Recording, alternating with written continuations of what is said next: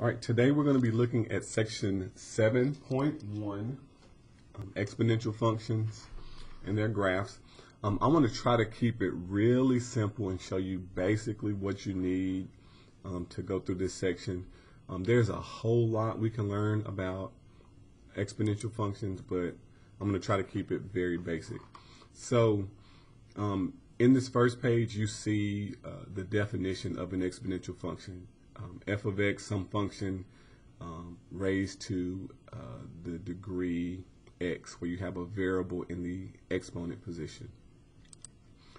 there are two types of exponential equations primarily. They are growth and decay. Um, one is increasing and one is decreasing. So if your base, the number that um, has the exponent x as a variable, if that number is a whole number larger than 1, it doesn't have to be a whole number, it just has to be any number larger than 1, your graph will be exponential growth, which means it will be increasing. Um, so this blue line right here going from left to right, it is increasing, increasing, increasing. Um, all exponential functions that um, do not have like any transformation, so like these two examples we're seeing here, the first one is one third uh, to the x power. So this number is less than one. It's going to be exponential decay. It's going to be decreasing. So this graph is going down from left to right. But I want you to notice um, some common properties. Both of those will go through that ordered pair 0, 1. And that's what I want you to note.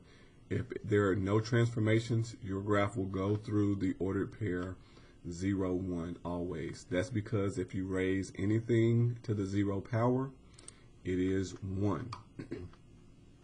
so just to drive that point home, I'm pulling up the calculator just to show you. Um, in parentheses, 1 divided by 3. And I'm going to raise that to the 0 power. And then if I do 2 and I raise that to the 0 power, um, I can even do a negative number. I could do negative um, 4 over, let's say 9, for example. And I can raise that to the 0 power. Okay, we get 1 every time. So with exponential functions, they will typically go through that order pair 0, 1, provided that you just have the basic form that is some number raised to the x power, so degree x. They will all go through 0, 1. And you can kind of see um, the growth when it's bigger than 1. It could be 1.2, it could be 1.01. As long as this number is bigger than 1, it will grow, go up from left to right. And when it is less than 1, it will decrease left to right. Now, there are some other properties that we will look at. Um, let me see if I see any in the um, the examples here in this section. It's not very many pages. We only go to page 7. Might have to just give you some handwritten notes. Okay, so see these examples? Um, this one has an x plus 3. So if you recall transformations, this is going to move your graph left or right. Now because it's plus 3, it's going to do the opposite. Normally plus 3 is going right but this plus 3 is going to shift it to the left. So instead of this graph going through 0, 1, it's going to get moved to the left.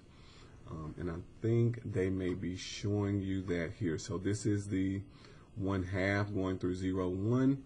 But when you add the plus 3, it moves it left 3 spaces. 1, 2, 3.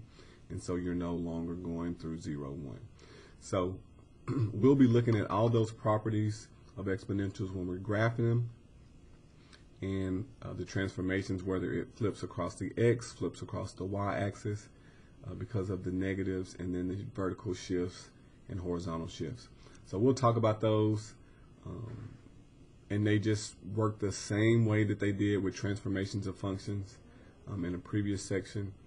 Um, and then Beyond that, we will be solving some exponential functions. Um, and I don't see any of those examples. Here they are at the end. So one of the things that will help you with solving exponential functions is um, being familiar with exponents and uh, raising numbers to like the second power, third power, fourth power. Um, what I recommend is that if you just Google search, let me see. Um, let me just look up for power table. Power table. Let me see if it'll pull up a power table.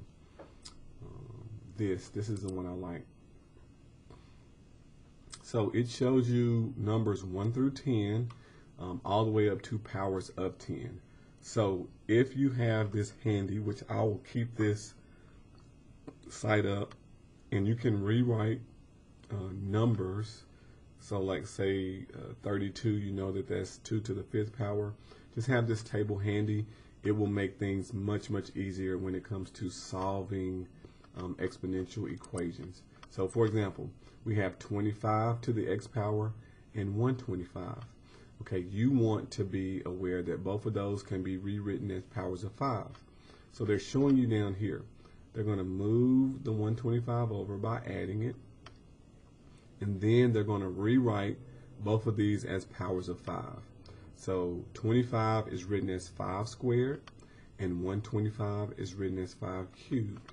Okay, you can also see that from this power table. When you go to the 5s, 5 squared is 25, 5 cubed is 125. Um, I would say it would be very beneficial to at least be familiar with everything to the third power. Like if you can know those on command, any number to the third power, that will help. And then the power table for anything bigger. But they rewrite them both as power of five. Um, when you have a power to a power, you multiply. So then, once the bases are the same, you can ignore those because they're not going to affect the problem. And the only thing you're focused on is the 2x equaling 3 and then you solve 2x equals 3 by dividing by 2 and you'll get your solution. So the big key here is being able to rewrite these um, numbers, these terms in exponential form so that you have the same base and once you have the same base you focus only on the exponent part. Okay, and then that's pretty much most of what we're going to see. Now we will solve uh, piecewise exponential functions I did not see any in these examples, but we will see one um, in the homework. I'm not seeing a piecewise. I'm looking, I'm looking, and I'm not seeing, not seeing a piecewise, which is okay. Um, I will show you how that works um, in the section. So yeah, there's no piecewise function. Um, but I do want to at least describe one more thing as far as what I'm going to be doing with these exponential functions. so, we're going to have an exponential function, y equals, and I didn't see any um, coefficients out front, but I'll just say it, a, and then you have a base, whatever your base number is, and then you might be raised to the x minus h, I'll do it, and then plus k. So what I want you to know is that um, this h will shift left or right. Left if it is positive, and then right if it is negative. Okay. You will also, you might have a constant that's being added. So notice if it's up there with the x, small exponential, left or right. If it is um, outside plus with the big part of the problem, this will shift up and down. Up if it's positive, and then down if it is negative. so if you have y equals, let's just say 1.2, okay, raised to the x. It is bigger, this is bigger than 1, so your graph will be increasing. Okay, going through that point, okay, 0, 1 always, okay, unless you have some shift. then you also have something that could be less than 1. Let's just say 0.9. It could be a fraction, but 0.9 to the x power. This graph will look like decay. So it'll be coming down from left to right and just hugging that x-axis, still going through that 0.01. now, other properties I want you to be familiar with, so I'm going to do the same example, okay? y equals 1.2 and what I'm going to do is write this to the negative x power. So what negative x does, it, it looks exactly like decay. What this does is it takes this graph and flips it across the x-axis. So everything that was negative is now going to flip over to the positive, and everything that was positive is now going to flip over to the negative. So this, um, I want you to associate with the property of a negative exponent is also the same as something like this. 1 uh, over, normally we don't see a decimal at the bottom, but 1.2, which we could see it like that. This is equal sign, not negative. 1 over 1.2x. The fact that it's in the bottom makes this look like a fraction. This is also the same as 1 over 1.2 to the x because you can write 1 to the x power still just 1.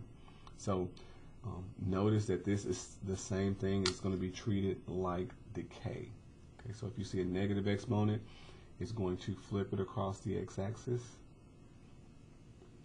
and make it look like decay. And similarly, if I had, let's say, 1 half, and I made this to the negative x, so this would be decay, but it would flip, okay? So this would look like exponential growth. So that negative exponent um, is just going to flip it to make it look different. But these are the general shapes that you're going to see with exponential. And for the most part, we're going to be doing a lot, a lot of graphing um, and seeing what they look like. The more that you know uh, going into it as far as how to work the transformations, shift left to right, and uh, just the general form that the exponential function will go through the point zero one unless acted on by a shift or transformation, um, the better off we will be. So we're going to go through this section. Um, again, I'm trying to keep it very simple for you, and then um, we'll, we'll go on to the next one.